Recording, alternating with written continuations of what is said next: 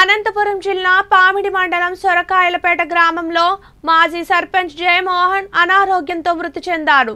సొరకాయలపేట గ్రామ మాజీ సర్పంచ్ జయమోహన్ అనారోగ్యంతో మృతి చెందాడు. కుటుంబ సభ్యులు తెలిపిన వివరాల ప్రకారం మృతుడు జయమోహన్ పది రోజుల క్రితం కోవిడ్ నైన్టీన్ వ్యాక్సిన్ వేయించుకున్నాడని కోవిడ్ నైన్టీన్ వ్యాక్సిన్ వికటించడం వల్ల మృతి చెందాడని కుటుంబ సభ్యులు ఆవేదన వ్యక్తం చేశారు. కాగా మృతుడికి ఇద్దరు కుమారులు ఇద్దరు కుమార్తెలు ఉన్నారు పామిడి మండలం సురకాలపేట విలేజ్ జయమోహన్ మాజీ సర్పంచ్ సురకాలపేట విలేజ్లో ఉన్నటువంటి జయమోహన్ ఈ వ్యాక్సిన్ వేయించుకోవడం కారణం వల్లనే ఇప్పటికీ మా నాన్న బాగా హెల్తీగా ఉన్నటువంటి అతను ఈ వ్యాక్సిన్ వేయించుకోవడం కారణంతోనే మా నాన్న అనారోగ్యంతో చనిపోవడం జరిగింది.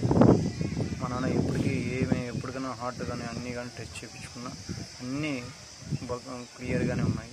ఈ వ్యాక్సిన్ వేయించుకున్న తర్వాత అస్వస్థ మా నాన్న చనిపోవడం